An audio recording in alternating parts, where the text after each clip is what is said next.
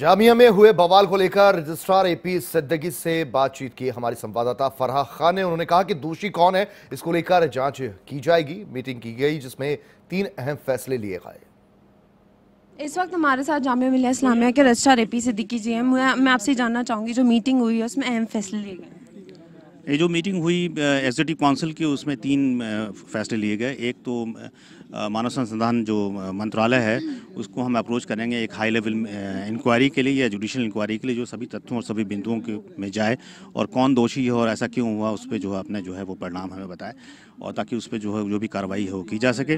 दूसरा ये था कि जो बच्चे इंजर्ड हुए, उनको मेडिकल असिस्टेंस देना, जो घर जाना चाहते हैं, उनको जो है वो हम फैसिलिटेट करेंगे।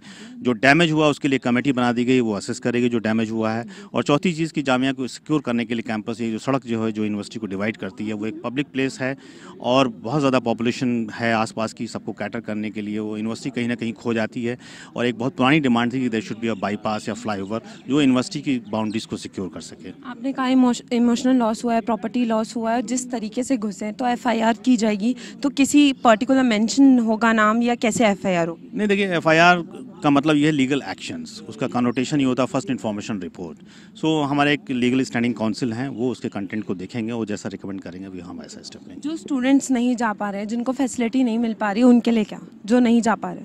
जो नहीं जा पाते, पा रहे हैं, जिनकी जो दूर दराज के इलाके हैं या कश्मीर के छात्र हैं या कोई जिनके पेरेंट्स या गार्जियन नहीं आ सकते या जो रिसर्च स्कॉलर्स हैं, उनके लिए हम नॉर्मली जब भी वैकेशंस होता है तो एक हॉस्टल में हम सबको जो है इकट्ठा कर देते हैं और एक मेस हम चला देते हैं। तो हम उनकी उनकी ये जो ज़रूरत है उसको भी पूरा करेंगे।